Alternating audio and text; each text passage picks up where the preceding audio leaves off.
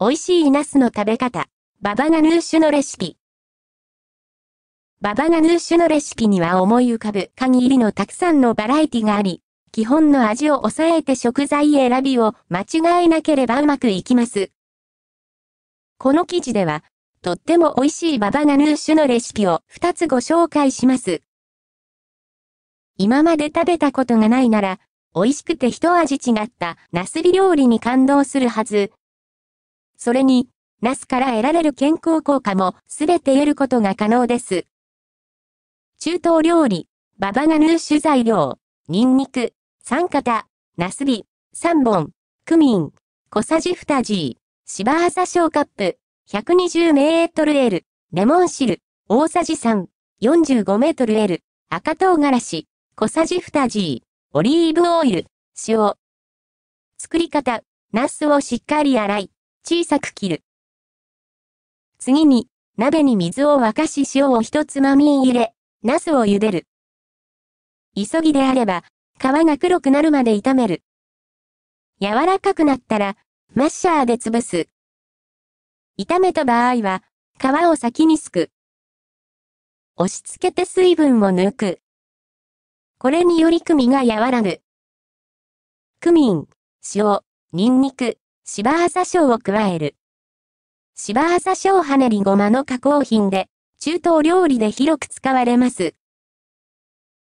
美味しい風味と食感が特徴。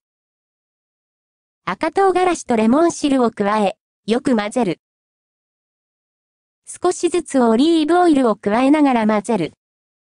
最後に、お好みで調味料をさらに加え、召し上がれ。じゃがいも入りババナヌーシュ。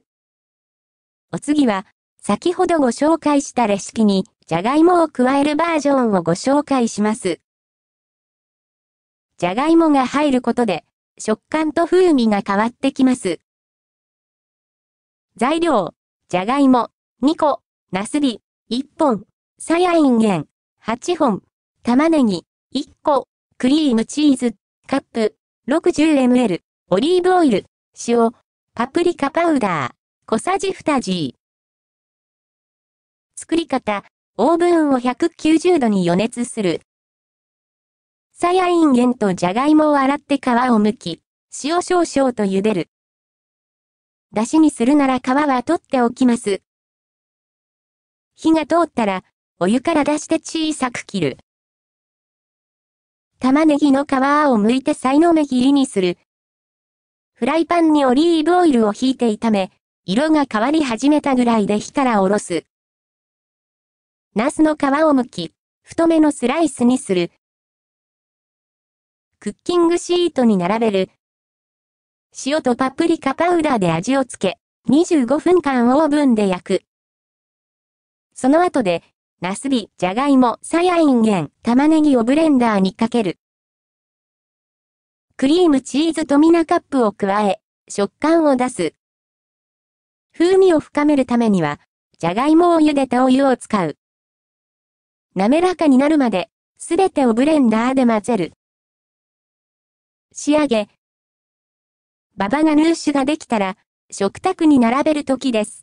ボウルに移し、新鮮なパセリや、生のごま入りごまで飾りましょう。